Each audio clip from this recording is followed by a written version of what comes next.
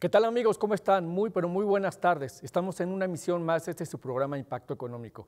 El día de hoy, como cada semana, vamos a estar hablando de temas financieros, temas económicos que impactan directamente a, su bolsillo. Mi nombre es Jorge Durán y quiero comenzar presentando a mis compañeros de conducción que me están acompañando esta tarde. América Muñoz, ¿cómo estás? Muy buenas tardes. Hola, buenas tardes. Como siempre es un placer estar con ustedes y compartir muchos datos importantes. Tomen nota, tenemos unos especialistas en la materia que seguramente les, eh, les servirán de apoyo. Así es, América, bienvenido. Arturo Cuanquiu, ¿cómo estás? Jorge, un gran gusto saludarte a ti y a todo el equipo, pues muy contento de estar aquí en una misión más de impacto económico, listos para compartir información para todos los televidentes. Así es, Arturo. Pues Aquí tenemos desde, la Ciudad de México traído, tenemos a José Eduardo Gómez Tagle. Ya lo extrañábamos, antes estábamos con nosotros, estabas con nosotros cada semana y ahora ya, ya no te vemos por acá. Muchas ya gracias, te cotizas muy alto, ya como estás en las esferas muy altas. ¿Cómo estás, mi buen? Pues muy bien y muy contento de poder estar en el espacio de Impacto Económico. Un saludo a nuestra amiga y titular Ari y además muy contento de poder compartir el micrófono como siempre, Arturo, América, Jorge. Y ahora con Ale además. Claro que sí, pues bienvenido. Alejandra, es un placer tenerte por acá. ¿Cómo estás? Muy buena tarde. Buena tarde, muchas gracias por la invitación, Jorge. Pues nosotros muy contentos de que vengas acá. La verdad es tu casa y cuando gustes venir, pues aquí que te pueda, te puede invitar aquí el amigo. Muchas gracias. Este, recuerden que nos pueden ver a través de la señal de TV Boab en el 18.1 de televisión abierta o también en el 118.1 de, este megacable o recuerden que también a través de las redes sociales de Impacto Económico en Facebook o también de TV WAP en Facebook. Y si no pudieron ver algún programa, bueno, pues ahí dejamos las ligas para que ustedes los puedan ver. El día de hoy vamos a tocar un programa, un tema que a mí la verdad me apasiona, me gusta mucho, y es el tema de pagar impuestos, los beneficios fiscales. Y es que generalmente, pues nosotros pensamos que ¿qué beneficio nos va a traer pagar impuestos? ¿Realmente se van a ocupar en lo que se deben ocupar? Y realmente pues la gente a veces no, no toma en cuenta que pues el pagar impuestos nos va a tener beneficios. Y por eso quiero comenzar con América que nos platique cuál es el beneficio de estar pagando impuestos, América. Pues mira, yo te voy a platicar de dos poderosas razones, pero la primera me gusta, bueno, pero antes me gustaría empezar por nuestro artículo constitucional este 31, en su fracción cuarta, nos habla de las obligaciones de los mexicanos que tenemos para contribuir al gasto público. Eh, en la federación, en los estados o en las ciudades donde residimos, de una forma eh, proporcional a nuestros ingresos. Y así como digo que esta es nuestra obligación y siempre nuestra máxima eh, constitución, pues hablamos de los derechos que tenemos, pero hay que tener énfasis en que también tenemos obligaciones como mexicanos y esta es una de las principales.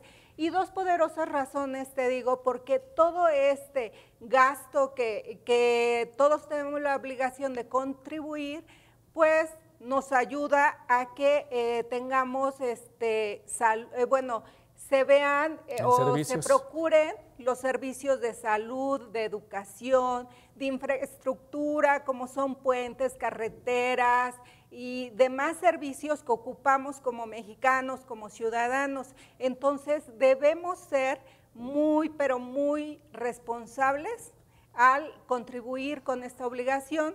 Y por otra parte, si nosotros como buenos ciudadanos pagamos impuestos, también tenemos beneficios de los que vamos a hablar y estos beneficios es que pues estamos este, en orden con nuestras contabilidades, con nuestros ingresos, informamos eh, periódicamente de nuestros ingresos y así pagamos nuestros impuestos proporcionalmente a lo que vamos ganando y esto nos va a ayudar pues como personas, como trabajadores o personas físicas, pues a tener ciertas deducciones en nuestros impuestos, también nos ayudan como empresarios o, este, o en nuestras pymes, nos ayudan también para deducir ciertos gastos, nos ayudan para tener créditos, para invertir en nuestras, en nuestras propias empresas y esto nos va a dar estímulos fiscales.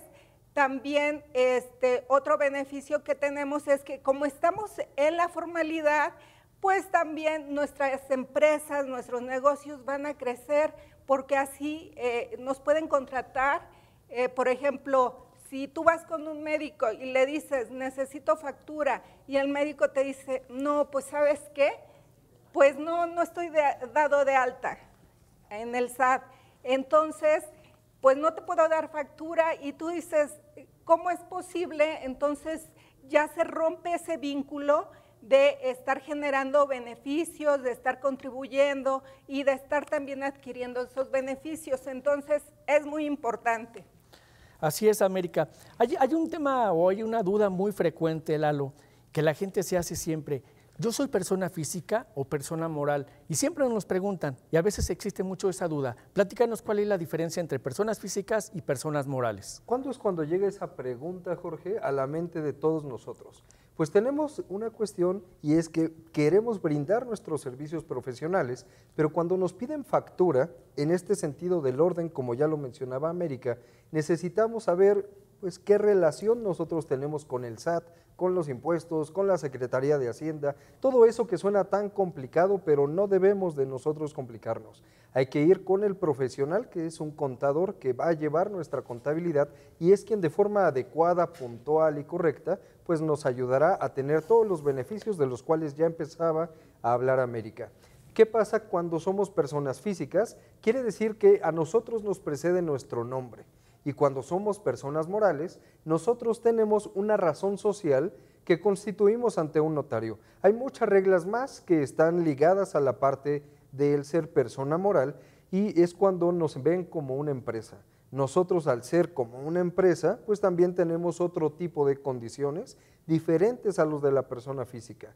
Cuánto estamos facturando, cuánto estamos cobrando al año, es algunas de las primeras cosas que podemos empezar a voltear a ver el régimen simplificado de confianza, que ya nos hablarán ahora, y otros de los puntos que son también importantes. Pero lo principal es que esos baby steps, esos primeros pasos que tú vas a dar al momento de ofrecer tus servicios, así sea de corte de cabello, así sea de servicios de marketing, manejo de redes sociales o cualquier cosa por muy sencilla o compleja que sea, si te contratan a ti para poderlo hacer como servicios profesionales y das factura por ello, pues debes de ser considerado como persona física antes de, empezar ya a facturar más o a tener que ver también contacto con empresas más grandes, que es cuando eres persona moral, Jorge. Así es. Ahora, tenemos ya claro cuál es la diferencia que hay entre persona física y persona moral. ¿Existen beneficios, Arturo, para las empresas, para las pymes, si tú pagas impuestos, si estás dentro de la formalidad? Fíjate que es un tema que todo contribuyente en algún momento, cuando ellos se van a dar de alta, la piensan mucho, ¿no? Sobre todo los emprendedores, los pequeños y medianos empresarios, y escuchan la palabra SAT y parece que causa alarmas. Sin embargo, presenta una gran, gran ventaja ah, para mí. ¿Por qué? Porque si ellos se dan de alta, empiezan a regularizar todas sus transacciones. ¿A qué me refiero con esto? Cuando ellos generen una venta, muchas veces se hace, por ejemplo, a través de transacciones bancarias.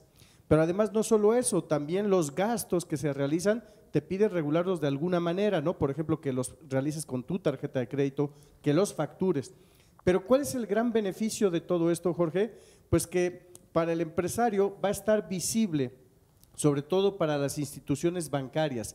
Y esto lo que va a permitir es justamente pues que ellos ya sean foco de atención para que puedan en un momento dado ser sujetos a crédito. Y esta parte es fundamental porque a veces lo olvidan, ¿no? Y dicen, bueno, si yo no tengo la manera de comprobar ante el banco, y esta es una de las mejores maneras, porque automáticamente el banco, al ver que tú estás teniendo transacciones, que tienes ingresos, que estás regular en la parte de los impuestos, bueno, pues obviamente eso va a ser muy atractivo para que te den oportunidades de crecimiento a través de créditos bancarios.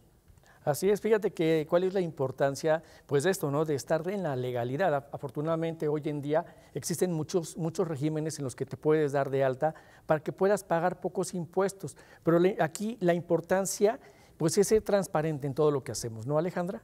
Sí, así es, Jorge.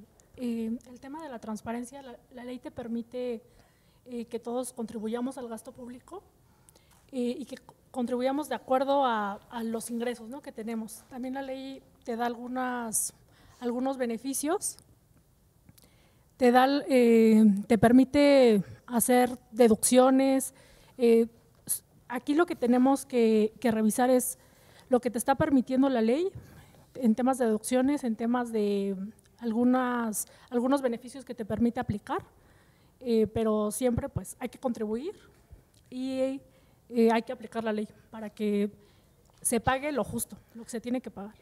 Así es, Alejandra, digo, dentro de lo que tú comentas sobre el tema, por ejemplo, de las personas físicas, eh, las personas físicas con actividad empresarial, los asalariados, las personas que están dentro de reciclo, los que están dentro del arrendamiento, que son regímenes que pueden, este, digamos, tener deducciones, algunos de ellos, porque sabemos que reciclo no se les permite hacer deducciones por temas de ISR, pero los gastos que están autorizados sabemos que son, por ejemplo, honorarios médicos y dentales, gastos hospitalarios, Medicamentos siempre y cuando estén dentro de las, de las facturas de un hospital, porque estos son gastos anuales que se hacen, análisis, estudio, las primas por seguros de gastos médicos mayores, los, este, gastos funerarios, los donativos, colegiaturas como un estímulo, fiscal que hay también, las aportaciones complementarias para el retiro. Esos son parte de los beneficios que tenemos. Y aquí me gustaría que, digo, complementaras un poco lo que comentabas tú, que, eh, que podamos separar la parte de lo que son los pagos provisionales, con los gastos personales, porque a veces como que nos queda un poco de duda, ¿cuáles son esos, esos gastos personales que yo puedo hacer deducibles y cuáles son los gastos personales en los pagos provisionales? Eh, en el, hay dos cosas. Eh, lo, que tú estás mencionando son deducciones autorizadas. esas son para que, esas son para el anual. Sí, es correcto. Eh, sin embargo, el, en el pago provisional van lo que está lo que es estrictamente indispensable para la actividad que cada uno realiza. Por ejemplo, en temas de actividad profesional. Eh, temas de actividad profesional, por ejemplo, sería la computadora, el internet, el teléfono, em, los viáticos que uno utiliza para los traslados. Esas, este, esos entran dentro del pago provisional. Digamos que son los gastos de cada actividad en particular, ¿no? O sea, por ejemplo, si para tu actividad utilizas el auto, a lo mejor los gastos del auto son deducibles, o si para tu actividad utilizas la computadora, eso es deducible de manera periódica, ¿no? O sea, en tu declaración mensual. Sí, eh, aquí, aquí depende las deducciones del pago provisional, depende de, de la actividad de cada quien. Por ejemplo, lo que comentabas, oye, el tema del carro, pues alguien que se dedique a plataformas, que esté de alta en Uber, obviamente el carro entra dentro de las deducciones, ¿no? que es por, porque es estrictamente indispensable, el tema del Internet, del teléfono. Y también es importante señalar en este tema que, cada, que nosotros podemos tener diferentes regímenes y eh, cada uno, cada régimen se declara de forma independiente. Es como si fueran diferentes cajitas. Okay. Y digo, yo te comento esto porque a mí mucha gente o personas con las que he platicado en alguna ocasión me dicen, oye, es que compré una, una póliza de gastos médicos familiar y la quiero meter en, mi, en, mi, en mis gastos personales mes a mes le digo, no, es que ese es un gasto personal, eso no es, no es parte de tu negocio, sí, pero lo quiero deducir de mi negocio. Entonces ahí empieza a veces las dudas y por eso es importante que se acerquen a gente pues con todo el conocimiento profesional para que se puedan, los puedan este, pues, eh, enfocar ¿no? bien y saber qué gastos son como gastos personales en la declaración anual y qué gastos pueden ser en las declaraciones provisionales. Ahora, hablando de los temas que pueden hacer deducibles, América, platícanos un poquito sobre los seguros. ¿Existe algún beneficio fiscal sobre los seguros que se pueden hacer deducibles? Precisamente lo que comentabas, el, seguro de gastos médicos mayores lo podemos hacer deducible con un tope del 15%, pero esto en nuestra declaración anual y el tope va de acuerdo a nuestros ingresos. ¿Estoy en lo correcto? También aquí es, importante mencionar que eh, aunque la aseguradora, por ejemplo, se, no nos haya timbrado y haya timbrado con RFC genérico, siempre que el contribuyente y sus y en línea recta sean los eh, asegurados, se puede deducir, aunque no esté timbrado. Aunque no esté timbrado. ¿Y, qué, se tendría que hacer? Porque digo, a nosotros nos preguntan mucho eso, oye, es que no está timbrado, no lo hizo la aseguradora, ¿cómo lo puedo hacer deducible? No está correcta mi factura porque tiene un RFC genérico. Como lo está pagando el, como lo está pagando, eh, el contratante es el contribuyente y está está asegurando a su a su cónyuge, hijos o ascendientes también pueden ser eh, todos en línea directa, es un requisito. Si en la misma póliza, este, no sé, está dado de alta a lo mejor un sobrino, el sobrino, mm, la parte de la prima del sobrino no entra dentro de la deducción. Así es. ¿Ok? También los seguros de vida con un componente de ahorro para el retiro se pueden hacer deducibles. Esto es igual en su declaración anual con un tope del 10%, pero esto va, este, la única parte que se hace deducible es la parte del ahorro, la parte, eh, digamos que la prima que forma parte del ahorro para el retiro, también aportaciones voluntarias de su afore se pueden hacer deducibles y en el caso de los empresarios o las pymes, lo que pueden hacer deducible es los seguros de responsabilidad civil eh, que contraten para su misma actividad, eh, los seguros de daños que, eh, que incluyen daños de edificio, maquinaria, este, vehículos. Estos seguros se pueden hacer deducibles, esto sí en sus declaraciones este, periódicas, ¿no? En sus pagos profesionales. Y también, este, por ejemplo, para los empresarios que dan como prestación seguro de gastos médicos colectivos o seguros de vida para sus empleados, estos como requisito deben de ser prestación 100%, o sea que toda la prima la pague el, patrón, el contratante es el patrón y él pague la prima, se pueden hacer deducibles al 100%. Eh, dentro de, este tema tiene que ser generalizado. La ley establece que es deducible siempre que sea generalizado en el mismo nivel. Ajá, siempre que sea el 100% de la plantilla de empleados, siempre en el mismo nivel te refieres a, por ejemplo, la, el 100% de la plantilla a lo mejor de obreros y el 100% de la plantilla a lo mejor de empleados administrativos. Así es. Oye, hay un régimen, hay un régimen que la verdad a mí me, me, gusta mucho, me gusta mucho porque además yo, yo pertenezco a ese régimen, el régimen simplificado de confianza, es un régimen, considero yo, que al día de hoy es bondadoso. No sé después, ustedes como, bueno, tú como persona que se dedica al tema de llevar contabilidades, al día de hoy es bondadoso. se creó desde el primero de enero del 2022. Es un régimen que te permite pagar una tasa impositiva de ISR bastante baja, que tiene que ver con desde el 1% hasta el 2.5%. Aquí las personas físicas pueden tributar si, tienen ingresos de hasta 3.5 millones de pesos y si son personas morales, morales hasta 35 millones de pesos. Y este, aquí la única, el único, la única desventaja que yo le veo es que no te permite hacer deducciones para ISR, pero sí para IVA. No sé si es, así, de esa manera. Aquí la ley establece que hay, ciertos requisitos eh, para temas de reciclo para persona física la ley establece que no pueden ser socios accionistas y el reglamento establece que no tuvieron que haber recibido dividendos. Okay. entonces, eh, sí es un régimen muy bondadoso. Nosotros siempre este, lo recomendamos. También aquí, por ejemplo, es eh, si nosotros recibimos sueldos y salarios, podemos tributar en reciclo. Ok. Aquí, digo, aquí es importante eh, explicarle a la gente que si yo estuve, por ejemplo, estás en reciclo y decides pasarte a persona física por actividad empresarial o honorario, si quieres regresar al reciclo ya no se puede, ya no te lo permite la ley. Así es, también hay que tener cuidado para presentar eh, que no se nos pasen las declaraciones provisionales, hay, hay, ciertas reglas, también si no cumplimos con declaraciones provisionales o la declaración anual nos pueden sacar de, del régimen.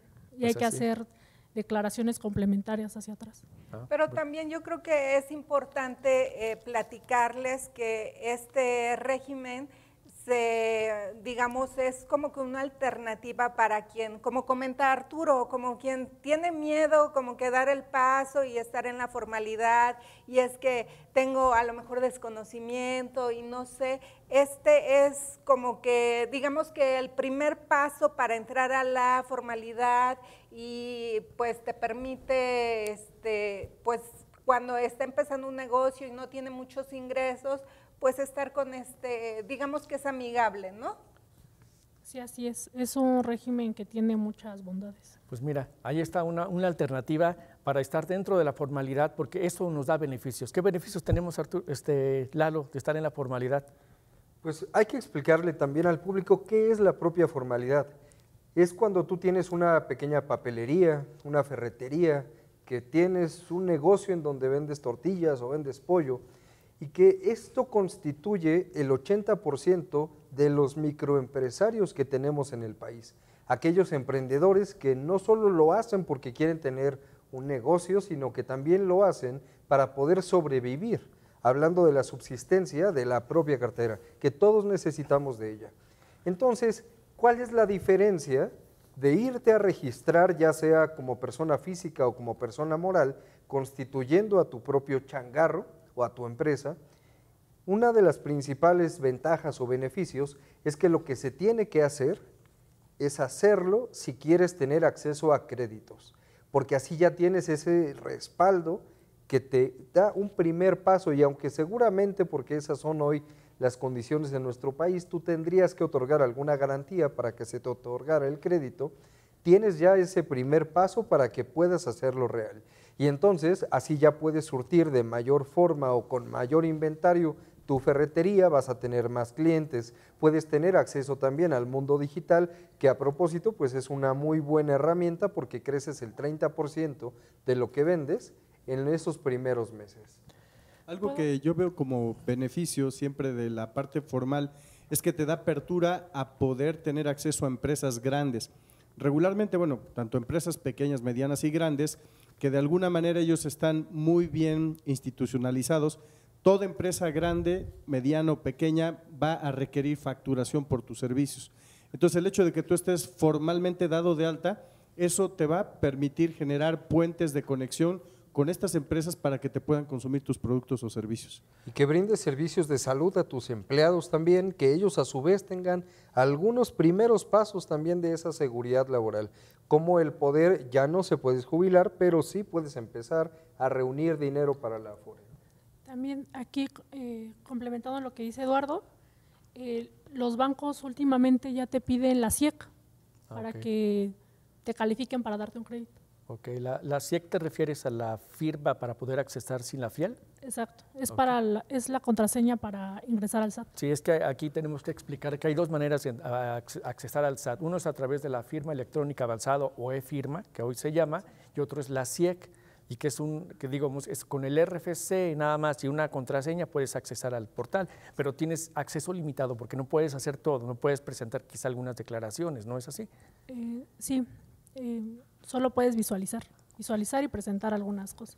Por eso es algo que está solicitando ya una entidad crediticia para este, saber cómo está el prospecto a crédito, si es este, si tiene, si es, eh, en primera, si está en la formalidad y en segunda, para ver eh, cómo, me imagino, cómo están sus declaraciones, su, historial, ¿no? Por eso es bien importante, Alejandra, que desde el principio, desde que comenzamos un negocio, tengamos orden, desde cero, que todo vaya bien para que no haya problemas, ¿no es así?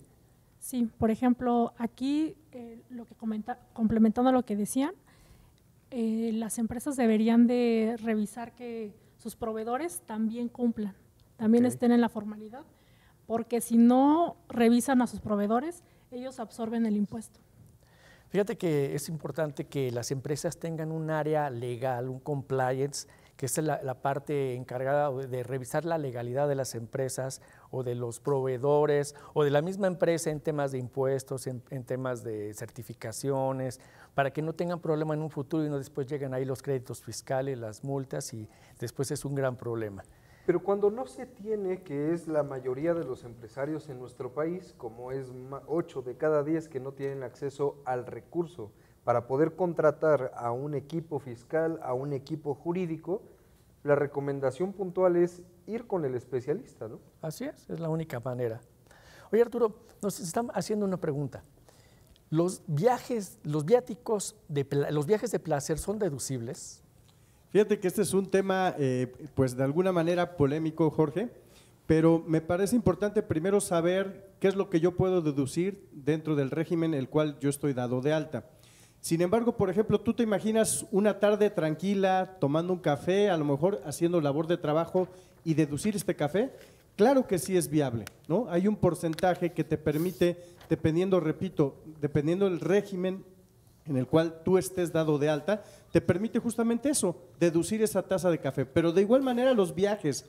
Te voy a poner un ejemplo. Si a lo mejor vas a realizar un viaje a alguna playa y lo puedes vincular con alguna actividad, pues claro que va a ser completamente deducible tu viaje de placer, porque además lo puedes combinar con alguna actividad, pues a lo mejor tomar un curso, a lo mejor algo que tú ves a realizar en esa entidad, pues desde luego la gasolina, las casetas, el hotel y las comidas van a ser 100% deducibles. Y me parece que esos son de los beneficios que tenemos que compartir con los emprendedores. Y bueno, pues es una manera pues muy amigable de decir, estoy pagando impuestos, estoy deduciendo, pero además también estoy disfrutando, ¿no? Me parece que dentro de los retos que tenemos todos los empresarios y emprendedores, pues es justamente eh, lograr encontrar esos beneficios que también nosotros tenemos. Por eso es importante que nos acerquemos a los expertos, porque como tú comentaste, tiene que ver en qué régimen te encuentras, porque quizá estés en un reciclo y no te permita ser deducible para ISR, si para IVA. Entonces, si nos acercamos a un experto, pues nos van a poder decir, ¿sabes qué? Sí, este, sí lo puedes hacer deducible, no lo puedes hacer deducible.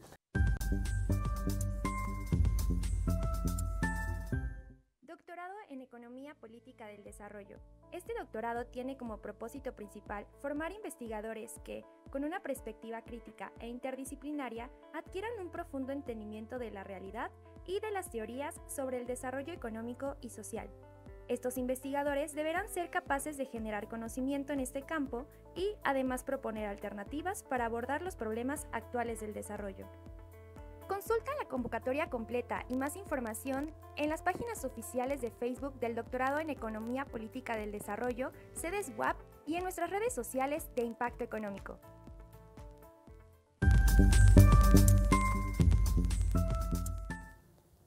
Pues ya estamos de regreso en este su programa Impacto Económico. El día de hoy estamos hablando de beneficios fiscales.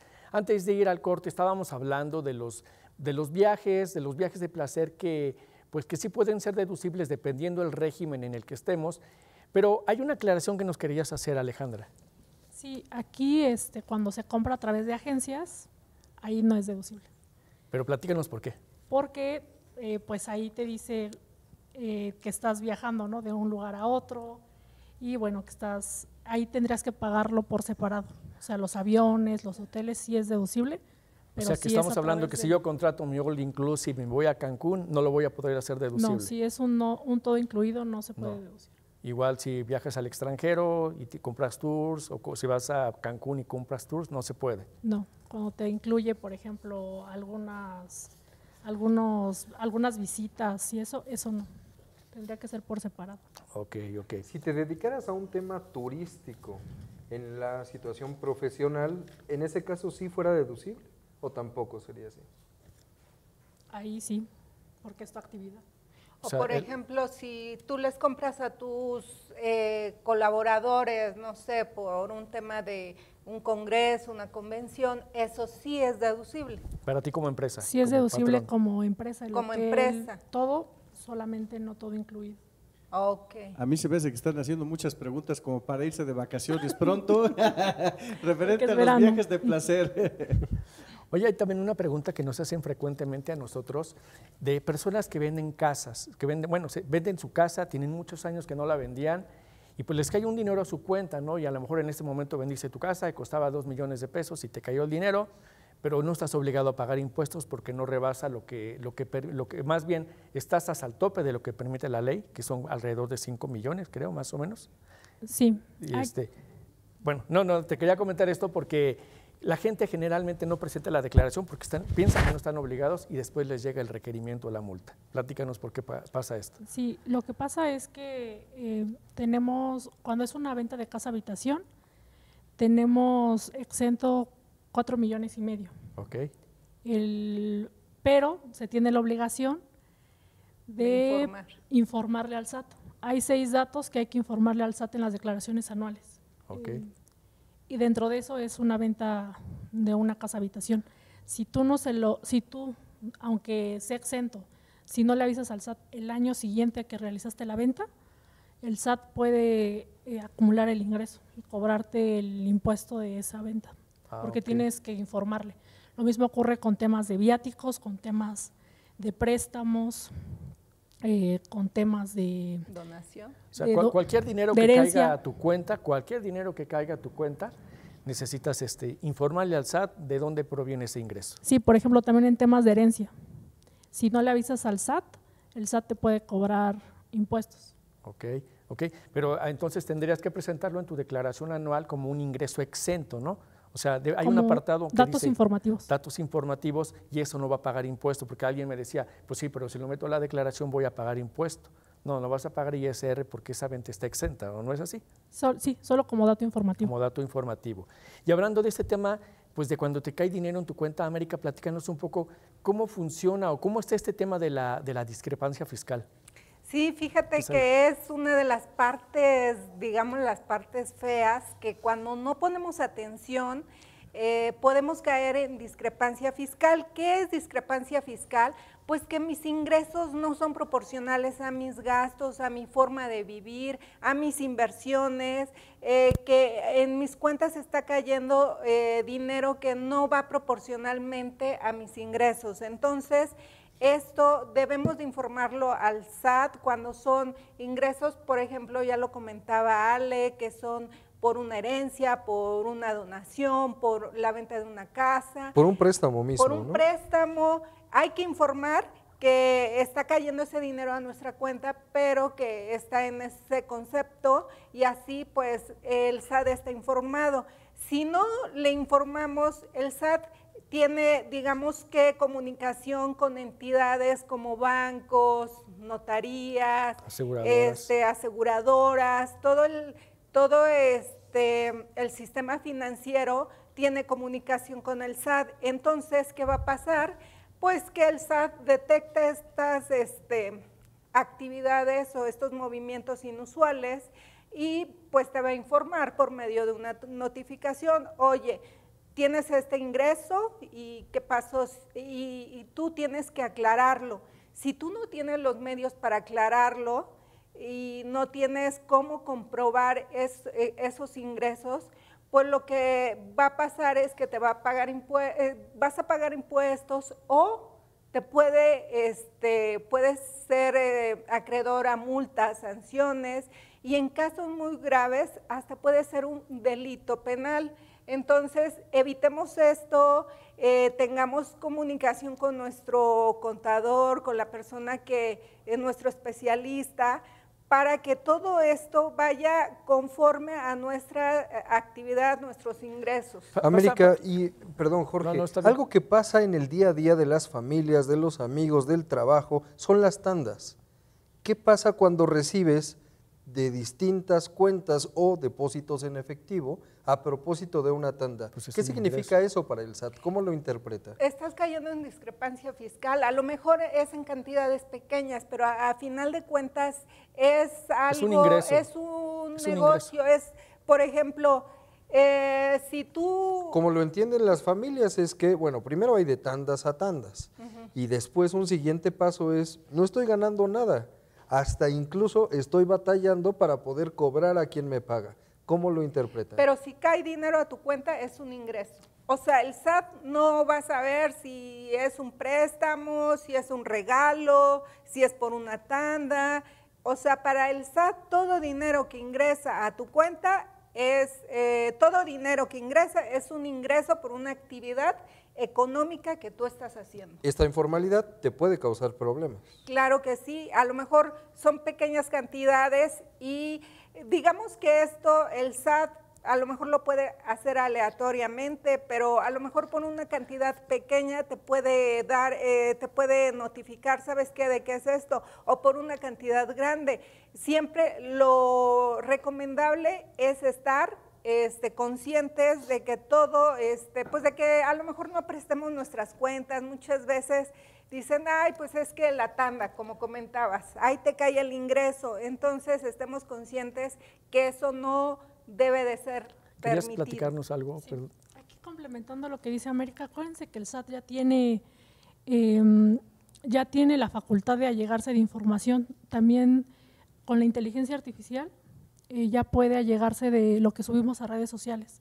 Hay que tener cuidado lo que se sube a redes sociales porque el SAT puede decir, oye, si tienes ese estilo de vida, ¿no? que a veces sabemos que, no es cierto, ¿no? solamente que es algo que, que, se muestra en redes, el SAT podría llegar a preguntar, este, cómo se está pagando ese estilo de vida que se está mostrando en redes. Un ejemplo bien frecuente de esto que pasa es, por ejemplo, la gente que tiene tarjeta de crédito, pero no tiene ingreso, pero mes a mes paga tarjeta de crédito 20, 30 mil pesos, pero no tiene ningún ingreso, o sea, no tiene ninguna actividad este, profesional, bueno, ninguna actividad, no está en horario, no está en reciclo, no, no está asalariado. Está en la plena informalidad. Está en la informalidad, pero mes a mes paga la tarjeta. Ahí es donde está un tema de discrepancia fiscal. Por eso es que te llegan a requerir en algún momento. Y por eso es la importancia de que siempre seamos éticos en las empresas y en las, este, micro y pequeñas empresas. Y es que es una obligación de nosotros como mexicanos tener que pagar impuestos. Los impuestos, en ese sentido ideal, pues se trata de que dotemos de recursos al gobierno para que el gobierno los distribuya de la manera adecuada en función de las necesidades que tiene la ciudadanía en específico.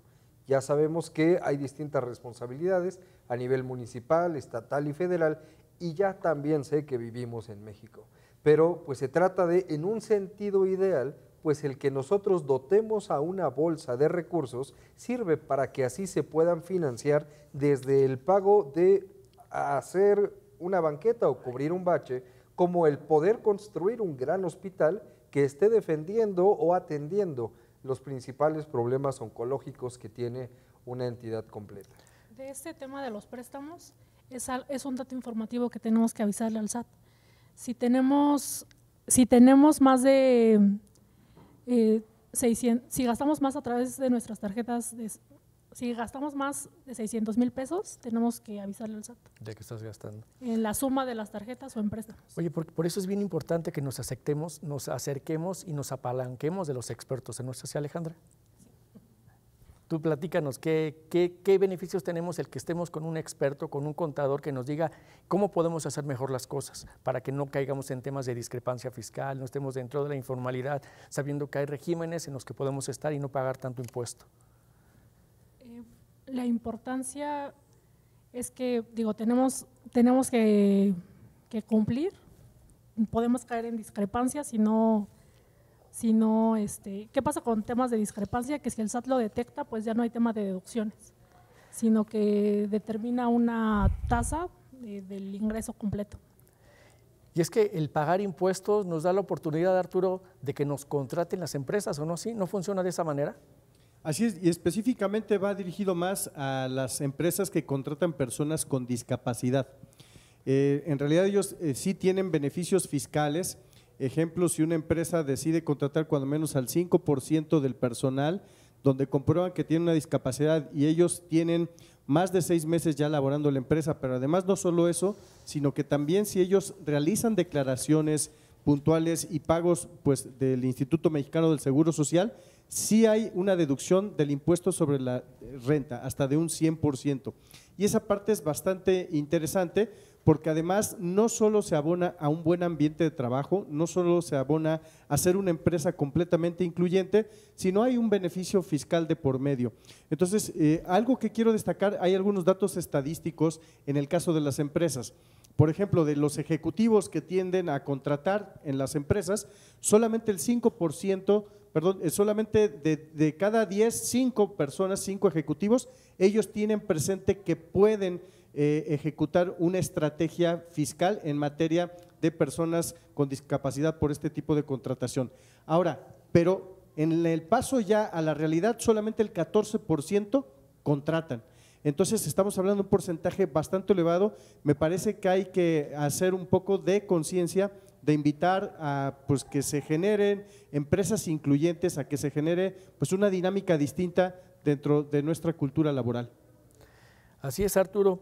Y hay un tema también frecuente y que aquí nos va a aclarar también Alejandra.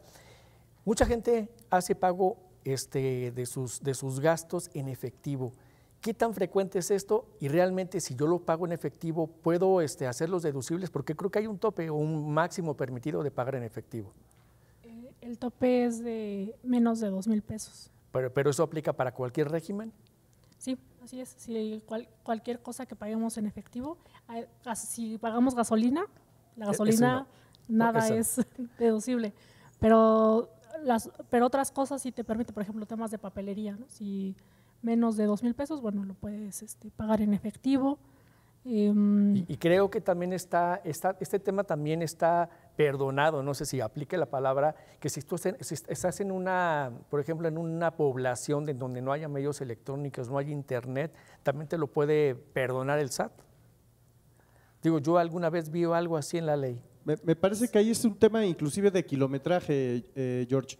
Eh, a partir de cierto kilometraje, una vez que tú estás fuera de tu entidad, eh, ellos sí te validan que tú puedes hacer los gastos justamente en la parte de efectivo, ¿no? Gasolina, hotel, restaurante, etcétera. Bueno, pues acá la contadora podrá saber un poquito más de ese tema. Y también nos preguntan muy seguido, ¿los pensionados, los jubilados pagan impuestos? América, ¿pagan impuestos los pensionados? Sí, los eh, pensionados pagan impuestos, eh, tienen, digamos, el mismo tratamiento que una persona física con actividad empresarial. Por ejemplo, pero este, más bien un asalariado. Bueno un asalariado. Que un asalariado o una persona con actividad empresarial tienen un tope que es eh, deducible que son 15 UMAS. 15 UMAS y eh, que es un equivalente a 49.500 algo así eh, si tu pensión equivale hasta ese tope no pagas impuestos si tu pensión excede sí vas a pagar impuesto, pero sobre el excedente. Eh, ¿Y de eso se encarga tu contador o se encarga la empresa que te lo está pagando? No, porque estamos hablando de que es una pensión o una jubilación. Sí, sería el instituto. Que hacer tu, tu declaración. No, el instituto, desde que ya te deposita tu pensión, ya viene retenido esa parte. ¿no?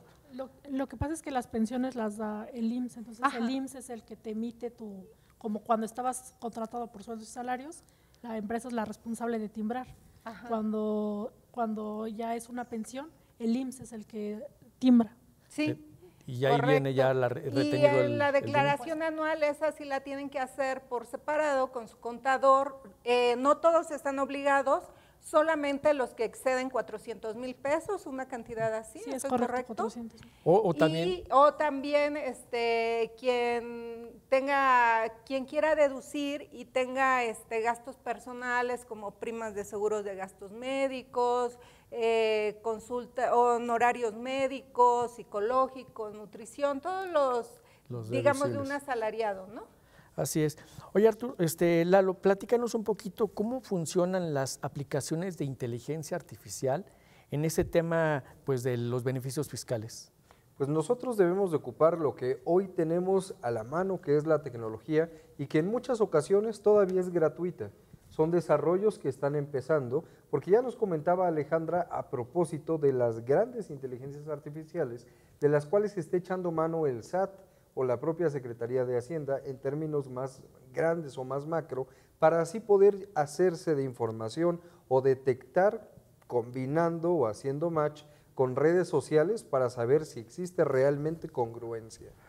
Pero si somos personas físicas, si no sabemos qué es una declaración, si no sabemos qué es un régimen de confianza o un simplificado de confianza, y si no sabemos cómo constituirnos, pues siempre hay primeros pasos. El principal es que vayan con un especialista, pero el segundo es que podamos nosotros acudir a aquellas herramientas de inteligencia artificial como ERU, H-E-R-U, que es una aplicación que está al acceso de todas las plataformas virtuales y en donde nos puede empezar a orientar sobre cómo es que debemos de empezar a declarar o de tener una relación sana con orden desde el principio. Fíjate que, eh, digo, no tiene mucho que llegó un caso de una persona, de una señora grande que tiene sus hijos en Estados Unidos, que le depositan, le depositan dinero o le traen dinero en efectivo a, esta señora, más bien le traen dinero en efectivo, y esa persona se acercó a una agencia a comprar un auto de, de contado. La agencia inmediatamente dio aviso al SAT que esta persona había comprado un auto de contado y en automático lo dieron de alta en el SAT como un régimen, no sé cuál habrá sido, y, pues ya habían pasado un par de meses de donde pues lo, tomaron como una actividad y eso fue un ingreso y estaba en un tema de discrepancia fiscal. ¿No aplica así algo, Alejandra? Eh, además, sí, así es. Además, aquí hay que tener cuidado por la ley antilavado. La ley antilavado, porque ¿de dónde viene el dinero? ¿De dónde es la procedencia de, los recursos, no? Oye, platican. puede ser que sea un ingreso totalmente honesto, que los hijos trabajando día con día iban recibiendo su pago, lo acumularon, llegaron a México y así se lo entregaron. Pero, pero fíjate que aquí hay un tema, este déjame que te interrumpa, aquí hay un tema. Si sus hijos pagaron impuestos en Estados Unidos, por el tema de la doble tributación, no tendrían que pagar impuestos en México, pero si están dentro de la, de la este, pues son, ¿cómo le llaman? Este, se me fue el nombre, los que trabajan en Estados Unidos, que no tienen, este, si, están como indocumentados, no pagan impuestos, entonces van a estar obligados a pagar aquí el impuesto de la, de la señora porque ese dinero no pagó impuesto en otro país. Y es que hay que entenderlo como que todos los ingresos nos obligan a pagar impuestos. No es solo algo que se quiera hacer por responsabilidad, sino es una obligación total. Oye, ¿qué tanto podemos ganar nosotros si aprovechamos todos los beneficios fiscales que existen? ¿Qué tanto puede ser beneficio para nosotros? Por ejemplo, nosotros hicimos, en el despacho hicimos un ejercicio donde eh, de, una empresa, de una persona física que no hace, que no lleva los límites de a, lo que a las deducciones que te permite la ley, a alguien que sí lo hace, más o menos es un 50% de, de que te puede devolver extra el SAT, ¿no? por ejemplo, en sueldos y salarios. Y digo, esa es una parte de lo que te devuelve, pero estamos hablando de todos los beneficios que puedes tener, por ejemplo, como un crédito bancario, un apoyo que te da, por ejemplo, el gobierno a las pymes, a las mujeres emprendedoras que ya tienen un negocio y que están dentro de la informalidad. Te, el no perder negocios, perder negocios, en la formalidad, porque te piden factura. Para a lo mejor para hacer un trabajo eh, como proveedor a X empresa necesito una fianza, pero si, si yo no estoy dada de alta, si no pago impuestos, si no llevo mi contabilidad en orden, pues no puedo, ni siquiera puedo adquirir una fianza, a menos que la esté este, afianzando con bienes inmuebles. Pero aún así te van a pedir estados financieros. ¿Sí? Le dejamos una pregunta al auditorio que sea cuántas veces has perdido un negocio, una oportunidad de poder vender tus servicios profesionales y se te ha ido por no haber estado en la formalidad, por no haber podido facturar y que además pues no tienes por qué complicarte la vida pidiéndole facturas a tu amigo, a tu papá, a tu hermano, a tu tío, al conocido, si sencillamente es que tú empieces a hacerlo bien con el apoyo de un especialista en temas contables y apoyos sencillos, no de grandes empresas. Y eso nos va a llevar a tener crecimiento porque podemos, como decía América, como lo ha señalado también Alejandra y Arturo, acceso a empresas más grandes, a poder vender no solo en pesos, sino ya en miles. Además, quiero poner un ejemplo. perdón que te interrumpa, eh, vender facturas es un delito. Además quiero poner un ejemplo muy sencillo y, eso en, mi caso, por ejemplo, yo siempre hago deducibles los impuestos ah, en el caso de algunas comidas. Si en algún establecimiento, si ellos no me facturan, porque luego llega a, suceder, yo no regreso a ese establecimiento. Y así como yo, bueno, yo soy, estoy hablando de una sola persona, pero puedes encontrarte con una empresa que tiene 100 trabajadores y a lo mejor te quieren contratar para un evento, automáticamente ahí se te va la oportunidad por no generar facturas. ¿no? Entonces, me parece importante hacer un ejercicio de reflexión donde pues seguramente tú vas a tener un ganar, ganar y bueno, el ganar, ganar va a ser más ganar para ti porque bueno, vas a poder venderles a estas empresas grandes. Pero que no sea el pretexto para no pagarme la comida de aquella vez. Ahí hay una comida pendiente, ¿no? Oye, dentro de la ley también contempla no como un, como un gasto personal, sino, sino, como un estímulo fiscal, el tema de las, de las este, colegiaturas. Platícanos, que esto, esto yo he visto que desde hace 10 años más o menos se mantienen los mismos topes y las colegiaturas han aumentado, aumentado, aumentado, y, pues los topes que maneja el SAT se siguen manteniendo, pero eso te da un beneficio de tener algo adicional para poder deducir y no está dentro de ese, 10 de ese 15% que son los gastos personales. En el tema de colegiaturas, eh, sí, exactamente no, no se han actualizado, llevan muchos años siendo los mismos importes. También temas del transporte escolar, siempre que sea obligatorio, eh, que la escuela lo ponga como obligatorio. Eh, también hay algunos requisitos, bueno, que venga el nombre del alumno. Así Y bueno, que venga el parentesco. Sí, es que eso es importante porque a veces, pues ya, segundo, ya, primero estás en un colegio en donde quizá no emitan, eh, no emitan comprobantes fiscales porque ni siquiera tienen el reboe de, de CEP, ¿no? Para empezar. Y luego no cumplen los, documentos con los este, requisitos que pide el SAT, como por ejemplo que tenga la CURP del, del alumno, ¿no? que tenga el IVA desglosado, que son cuestiones que hoy en día ya todo lo deben tener, y si no tiene eso va a ser imposible poder hacer deducibles, porque hay montos. Por ejemplo, para nivel bachillerato son 24.500 pesos que puedes hacer deducible, para preescolar 12.900, quizá no te va a alcanzar, pero sin embargo, pues es un, es un este, es un estímulo uno que te da para poder hacer deducible. Ahora, ibas comentando. No, nada más deducción anual, ¿no? Es, anual. Eh, anual. Es una deducción anual y son los topes que nada más tiene, ¿no? ¿No manejan así esos topes? Sí. Ahora, ¿alguien de ustedes ya tiene preparado el tema de su retiro? ¿Eh? ¿Eh? ¿Eh? No, pues normalmente la mayoría de los mexicanos no lo tenemos considerado. Y además, como ya solo es pensar en un tema de afore, de empezar a crear ahorro, y cuánto es lo que necesitamos para mantener el estilo de vida que tenemos o que aspiramos a tener, pues es una tarea que hay que empezar a atender lo más temprano posible, ¿cierto, Jorge? Y yo lo preguntaba por esto, porque hoy en día, bueno, desde hace muchos años, la ley del ISR contempla beneficios para los planes privados de retiro y también para las aportaciones voluntarias. Entonces, yo creo que es importante que tomemos en cuenta esa parte del retiro, que es, es fundamental y además de todo que la podemos hacer deducible dependiendo si estamos en un régimen que nos convenga, dependiendo qué, cuál plan personal de retiro queramos comprar. Hay tres artículos que intervienen mucho, que es el artículo 83, el artículo 151 y el artículo este, perdón, el artículo 93, 151 y 185. Dependiendo de lo que nosotros queramos, hay, hay, este, hay eh, planes que se pueden hacer deducibles, todo, digamos, con un tope de 152 mil pesos al año, pero la tasa impositiva del ISR es bastante alta. Por otro lado, por ejemplo, el artículo 151, que te permite hacer deducible y si tú, si tú retiras el dinero después de los 65 años, solamente te van a penalizar con un, más bien no penalizar, cobrar el ISR el, 20%, o, los planes que son eh, para el retiro, pero que no tienen deducibilidad, que es el artículo 93, que este tipo de planes pues no te va a este, penalizar siempre y cuando el, dinero lo retires después de los 60 años y además hayas tenido 5 años con tu plan, tu plan de retiro. Entonces, también, yo creo También otra cosa para complementar lo que dijiste, es muy importante saber que si contratamos un plan de retiro y lo queremos hacer deducible, tomemos el, eh, ese beneficio de la deducibilidad, porque si